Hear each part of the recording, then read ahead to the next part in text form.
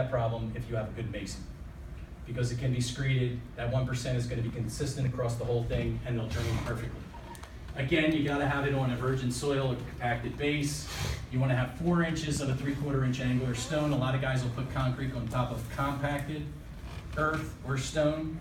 You wanna have the, the clean stone so the water can drain out.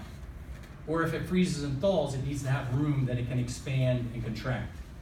4,000 PSI concrete, 3 8 inch rebar, 30 inches on center in two directions. The rebar is what gives the tensile strength to the concrete. Concrete has a thermal expansion rate the width of a dime. So if you have a court that's 120 feet long, you can put 12 dimes together. That thickness is how much the concrete will expand and contract.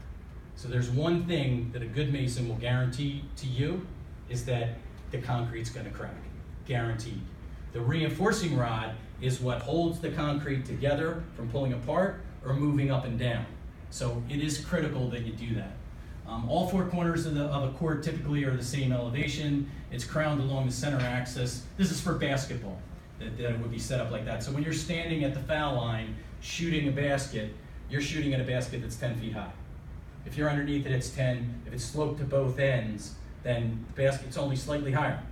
So you're always shooting at a basket that's 10 feet or slightly higher, forces you to have more of an arc on your shot, better than ever shooting at a basket that's less than 10 feet. Control joints are cut into it, broom finish, and at some point it's gonna crack. You need to let the people know that ahead of time. It's gonna crack, but the reinforcing rod is gonna take care of it, you're not gonna have any problems. Uh, with the concrete courts, this is a detail for drainage around the courts. If you got a big court, you got a court that's 50 by 70 in the middle of a yard, you don't want to drain it out into every place else where kids are going to be playing in the grass. You already have four inches of stone underneath it. Your concrete's four inches on the side, so take it out another foot or two, fill it up with river stone. Have your corrugated pipes in the bottom and run the daylight or run to another spot on the property. Tennis courts. Most of the times when you see a tennis court, it's out in a park, in a club, in a huge area. It doesn't look that big. A tennis court at 120 by 60 is a 7,200 square foot section. It's the size of a 14,000 square foot building. So you're putting in a tennis court for somebody at their house. Think about buffering it.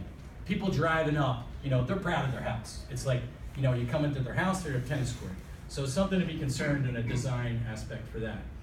These are just sizes of, of tennis. With tennis, there's more out of bounds than there is play area. Your play area for singles is only 27 by 78, but yet you have a court that's